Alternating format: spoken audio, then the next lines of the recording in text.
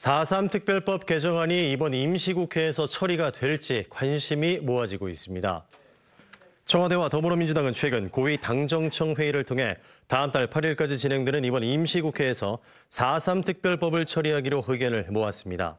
또 기획재정부에서도 배보상을 위한 의견 조율에 들어간 것으로 전해지고 있습니다.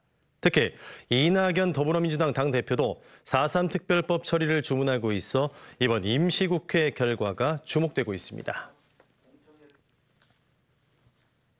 제주에서 전해드렸습니다.